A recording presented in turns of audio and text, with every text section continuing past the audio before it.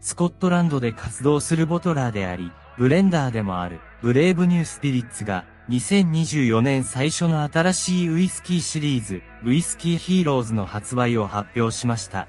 グラスゴーに本拠を置く、ブレイブニュースピリッツは、キャンベルタウンに、新しいウィッチバーン蒸留所を建設中でもあります。ウイスキーヒーローズの最初のリリースは、シェリータルやバーボンタルで熟成、または仕上げられた8種類のウイスキー、シングルモルト7種類とシングルグレーン1種類で構成されています。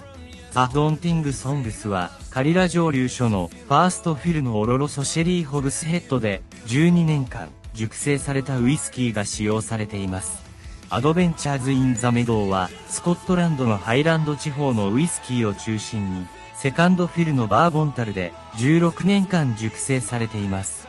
Call to Submission は、キャメロンブリッジ蒸留所で生まれたグレーンウイスキーを、ファーストフィルの PX シェリー、フォックスヘッドで14年間熟成しています。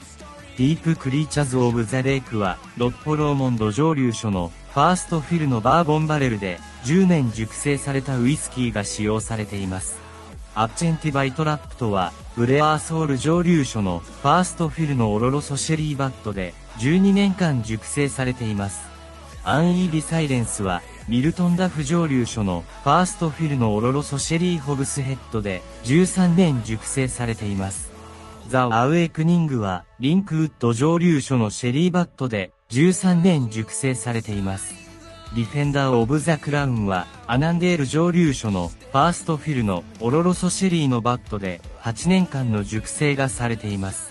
魅力的なウイスキーが揃ったウイスキーヒーローズには目を引く特徴的なラベルがついています。